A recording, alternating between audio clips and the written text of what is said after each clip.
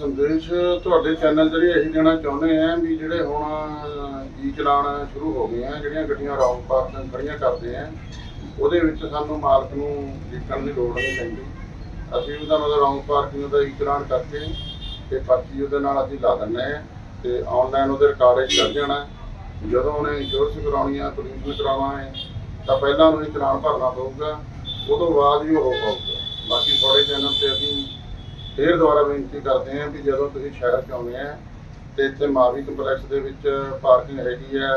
ਕ੍ਰਿਸ਼ਨਾ ਮੰਡੀ 'ਚ ਪਾਰਕਿੰਗ ਹੈਗੀ ਹੈ ਕੁਝ ਲੰਬੇ ਟਾਈਮ ਤੱਕ ਰੁਕਣਾ ਹੈ, ਗੁਰਦੁਆਰਾ ਸੀਸਗੰਜ ਸਾਹਿਬ ਬਹੁਤ ਵੱਡੀ ਪਾਰਕਿੰਗ ਹੈ ਤੇ ਆਪਣੀ ਗੱਡੀ ਨੂੰ ਮਤਲਬ ਪਾਰਕ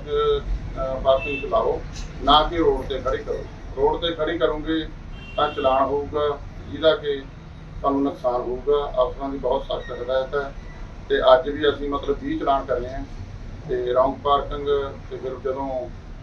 ਰੌਂਗ ਪਾਰਕਿੰਗ ਚਲਾਨ ਹੁੰਦਾ, ਉਹਦੇ ਨਾਲ ਫਿਰ ਸਾਰਾ ਰਿਕਾਰਡ ਚੱਕ ਲੈਂਦੀ ਆ ਮਸ਼ੀਨ ਬਹੁਤ ਦੀਆਂ ਸ਼ੋਰਟਾਂ ਨਹੀਂ ਹੁੰਦੀਆਂ ਪੋਲਿਊਸ਼ਨ ਨਹੀਂ ਹੁੰਦੇ, ਫਿਰ ਉਹ ਵੀ ਨਾਲ ਹੋ ਜਾਂਦਾ,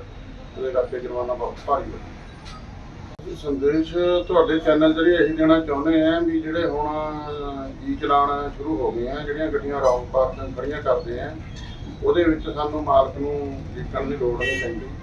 ਅਸੀਂ ਉਹਦਾ ਮਤਲਬ ਰੌਂਗ ਪਾਰਕਿੰਗ ਦਾ ਈ ਚਲਾਨ ਕਰਕੇ ਤੇ ਪਰਚੀ ਉਹਦੇ ਨਾਲ ਅਸੀਂ ਲਾ ਦਿੰਦੇ ਆ ਤੇ ਆਨਲਾਈਨ ਉਹਦੇ ਰਿਕਾਰਡ ਚੱਲ ਜਾਣਾ।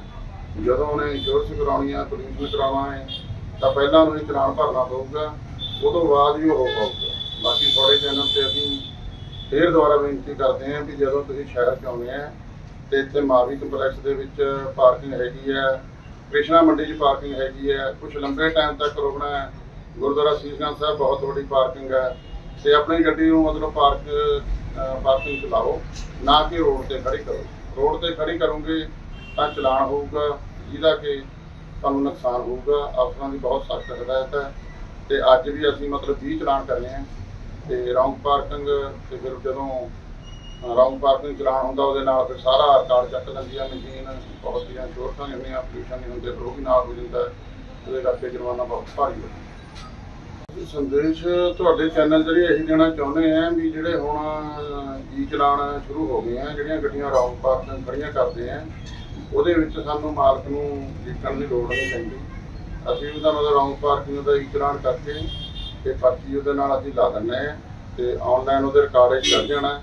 ਜਦੋਂ ਉਹਨੇ ਇੰਸ਼ੋਰੈਂਸ ਕਰਾਉਣੀ ਆ ਪੋਲਿਊਸ਼ਨ ਕਰਾਉਣਾ ਹੈ ਤਾਂ ਪਹਿਲਾਂ ਉਹਨੂੰ ਇਹ ਚਲਾਨ ਭਰਨਾ ਪਊਗਾ, ਉਦੋਂ ਬਾਅਦ ਹੀ ਉਹ ਹੋਊਗਾ। ਬਾਕੀ ਤੁਹਾਡੇ ਚੈਨਲ ਤੇ ਅਸੀਂ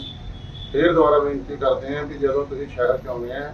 ਤੇ ਇੱਥੇ ਮਾਵੀ ਕੰਪਲੈਕਸ ਦੇ ਵਿੱਚ ਪਾਰਕਿੰਗ ਹੈਗੀ ਹੈ, ਕ੍ਰਿਸ਼ਨਾ ਮੰਡੀ 'ਚ ਪਾਰਕਿੰਗ ਹੈਗੀ ਹੈ ਕੁਝ ਲੰਬੇ ਟਾਈਮ ਤੱਕ ਰੁਕਣਾ ਹੈ, ਗੁਰਦੁਆਰਾ ਸੀਸਗੰਜ ਸਾਹਿਬ ਬਹੁਤ ਵੱਡੀ ਪਾਰਕਿੰਗ ਹੈ ਤੇ ਆਪਣੀ ਗੱਡੀ ਨੂੰ ਮਤਲਬ ਪਾਰਕ ਪਾਰਕਿੰਗ 'ਚ ਲਾਓ, ਨਾ ਕਿ ਰੋਡ ਤੇ ਖੜੀ ਕਰੋ। ਰੋਡ ਤੇ ਖੜੀ ਕਰੋਗੇ ਤਾਂ ਚਲਾਨ ਹੋਊਗਾ, ਜਿਹਦਾ ਕਿ ਤੁਹਾਨੂੰ ਨੁਕਸਾਨ ਹੋਊਗਾ, ਅਫਸਰਾਂ ਦੀ ਬਹੁਤ ਸਖਤ ਹਦਾਇਤ ਹੈ ਤੇ ਅੱਜ ਵੀ ਅਸੀਂ ਮਤਲਬ 20 ਚਲਾਨ ਕਰਨੇ ਆ ਤੇ ਰੌਂਗ ਪਾਰਕਿੰਗ ਤੇ ਫਿਰ ਜਦੋਂ ਰੌਂਗ ਪਾਰਕਿੰਗ ਚਲਾਨ ਹੁੰਦਾ, ਉਹਦੇ ਨਾਲ ਫਿਰ ਸਾਰਾ ਰਿਕਾਰਡ ਚੱਕ ਲੈਂਦੀ ਆ ਮਸ਼ੀਨ ਬਹੁਤ ਦੀਆਂ ਸ਼ੋਰਟਾਂ ਨਹੀਂ ਹੁੰਦੀਆਂ ਪੋਲਿਊਸ਼ਨ ਨਹੀਂ ਹੁੰਦੇ, ਫਿਰ ਉਹ ਵੀ ਨਾਲ ਹੋ ਜਾਂਦਾ, ਉਹਦੇ ਕਰਕੇ ਜੁਰਮਾਨਾ ਬਹੁਤ ਭਾਰੀ ਹੋ